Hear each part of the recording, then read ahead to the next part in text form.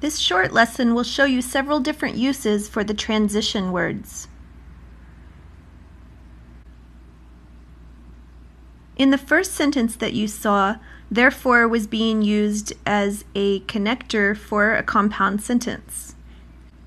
As you've already learned, when you join two independent clauses with a transition word, you have to put a semicolon in front and a comma after.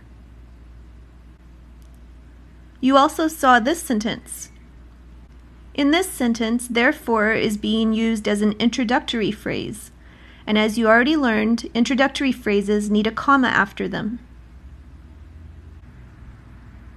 You also saw a sentence with therefore being used as an interrupting phrase. Remember that when a transition word interrupts a sentence, you put commas around it. So if it's in the middle of the sentence, you would have a comma before and after the transition word. Look at some more examples. All of these sentences have therefore. Can you decide how therefore is being used in each one? Look at the first one. This is the reason that you should buy a house is a complex sentence. Therefore is just an interrupting word, so we put commas around it. Look at the second sentence. Here we have two independent clauses, and we're joining them with therefore. So remember to put a semicolon in front and a comma after. Look at the third sentence. Here we have two separate sentences, but in the second sentence I'm using an introductory phrase so I put a comma after therefore. Here's a list of some other transition words that have different uses. Some of these words can go in the same places as therefore, but some of the words, like first, cannot be used as an interrupting phrase. Just keep in mind that these can be used in some different ways.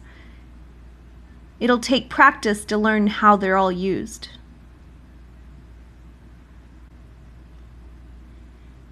How did you do on the exercise? In the first sentence, thus was being used as an interrupting phrase. Even though that's a long sentence, it's just a simple sentence. And because thus is interrupting, we put commas around it. In the second sentence, however was being used to join two sentences. So we use a semicolon in front of it and a comma after.